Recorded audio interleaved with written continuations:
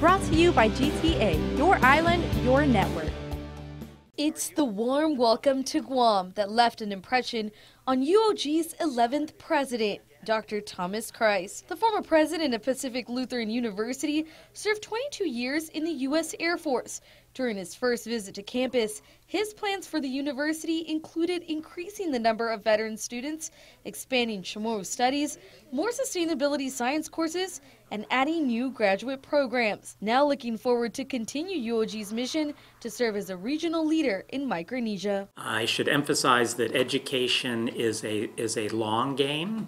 It's uh, excellence takes uh, time and investment of resources and people and expertise, and steadiness of support is really really important. The reading really tells me that. Um, that this institution has done tremendous work on issues particularly related to people and to uh, the idea of islands. So this island, very specifically, but also the islands of Micronesia. Though not from Micronesia, he believes his background living in the Virgin Islands lends a hand to understand Guam's unique island culture. Dr. Krise is eager to work with campus leaders like Vice President Dr. Anita Borja Enriquez, the only local finalist in the top four. She's a, a very accomplished um, academic administrator, and I look forward to working with her. Working through challenges head on, such as the current budget crisis and potential budget shortfall for UOG, with an increase in enrollment from last year's 700 new Tritons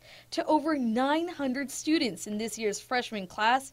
Dr. Krise says finance is a major issue he hopes to address to ensure students' success. One important thing is to make sure that we're getting every possible grant. Every institution has money left on the table, um, and so I think more investment and attention to getting all the kinds of resources that we can is really important. Krise adds that continuing momentum for current programs, such as the Good to Great initiative, is key. Dr. Underwood is staying on board until August 25th to help President Krise transition. Reporting for Guam News Network, I'm Carmen Victoria Terlahi. Brought to you by GTA, your island, your network.